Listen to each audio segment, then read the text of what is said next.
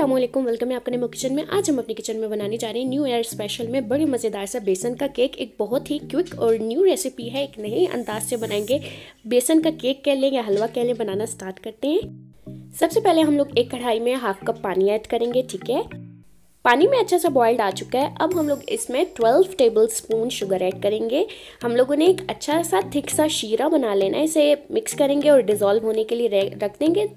तब तक इसे पकाएँगे जब तक ये जो लिक्विड है, ये थिक ना हो जाए। यहाँ पे शीरे को दो से तीन मिनट तक हमने अच्छे से पका लिया। शीरा थिक हो गया। अब दो से तीन आदत कुटी हुई इलायची में इसमें ऐड करी। अगर आप लोगों के पास पाउडर है तो आप पाउडर भी ऐड कर सकते हैं। शीरा यहाँ पे हमारा डन है। इसे एक बाउल में निकाल लेंगे। अब नेक्स्ट हम एक कढ़ाई में थ्री फोर्थ कप घी ऐड करेंगे। अब हम लोग उसमें दो कप बेसन ऐड कर देंगे। बेसन को आप लोगों ने छान के रखना है पहले।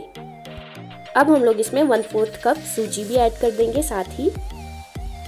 अब बेसन और सूजी को जो है हम लोग 15 मिनट के लिए अच्छे से कुक कर लेंगे। मीडियम फ्लेम पे चम्मच आप लोगों ने हिलाते जाना क्योंकि सूजी के जलने का खतरा होता है। फिर वो जो है आपका केक का जो सारा टेस्ट है वो कड़वा हो जाएगा। आप लोगों ने जो है साथ साथ चम्मच हिलाते जाना है। यहाँ पे वीडियो में आप लोगों को कलर ज़रा डार्क नज़र आ रहा है, इतना डार्क कलर नहीं है।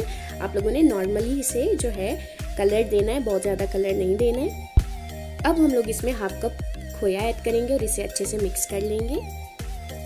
अभी जो है, हम लोगों ने फ्लेम को ऑफ़ कर दिया। जो शीरा बना के रखा था, वो मैंने इसमें ऐड कर दिया और इसे अच्छे से मिक्स कर लेंगे इस तरह से। फ्लेम आप लोगों ने बंद करके शीरा ऐड करना है। ये देखें जी। बस इसे अभी हम लोग बंद फ्लेम पे कुक करेंगे। ये खुद ब खुद, ये देखिए जी थिक हो जाएगा और इस फॉर्म में आ जाएगा। अब हम लोग क्या करते हैं जी, इसमें ड्राई फ्रूट्स ऐड कर लेते हैं। यहाँ पर मैंने इसमें खोपरा और बादाम ऐड किया अगर आप कोई भी अपनी पसंद का ड्राई फ्रूट ऐड करना चाहते हैं तो आप कर सकते हैं। इसे अच्छे से मिक्स कर देंगे और हम लोग इसे एक प्लास्टिक के बॉल में निकाल लेंगे। हमने इसे केक की शेप देनी है तो मैंने एक इसे राउंड बॉल में निकाल और इस तरह से हम लोग इसे प्रेस कर रहे हैं। एक प्लेट लेंगे और इसे टर्न कर देंगे इस तरह से।